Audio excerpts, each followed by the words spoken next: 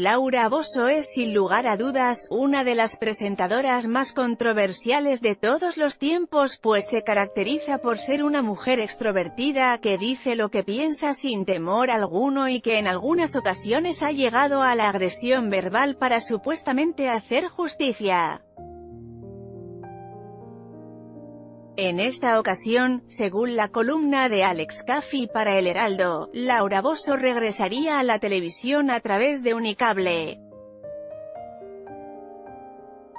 Me espanté. Sí, me espanté al ver en Unicable anuncios que avisan el regreso de Laura Bosso. Sin embargo, no es un regreso a la televisión como tal, pues se trata de, de la retransmisión de los programas que la catapultaron a la fama definitiva y así lo contó Alex Caffey. ¡Qué asco! Pensé, pero que no cunda el pánico, pues ya investigué y son repeticiones.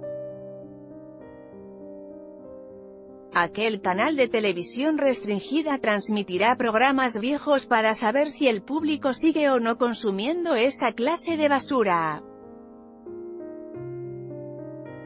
Asimismo, el periodista aseguró que la audiencia que tengan las retransmisiones será un factor determinante para que Televisa se anime o no a poner Laura en América en la televisión abierta el próximo 2019.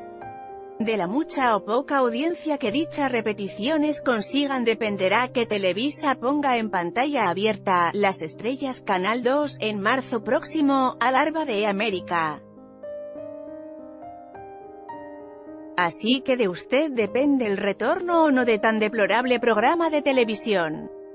Desde hace varios meses comenzó a circular el rumor de un posible regreso de Laura Bosso a la televisión mexicana, sin embargo, hasta este momento ninguna televisora ni la propia conductora han emitido algún comunicado oficial.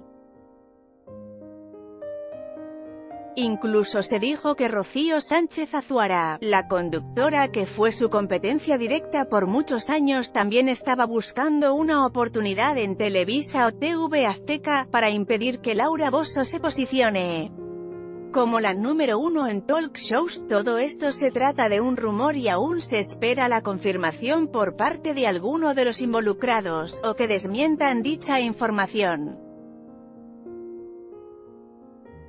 Laura Bosso sufrió este 2018 la separación de quien fuera su pareja por más de 17 años, Cristian Suárez, y ahora enfrenta una demanda por parte del sujeto, quien le reclama su pago por los servicios que le ofreció como su mano derecha durante todo este tiempo juntos. ¿Qué te parece? Con información de Alex Caffey, El Heraldo y LNN anímate a comentar. Queremos saber tu opinión. Comentarios Powered by Facebook Comments.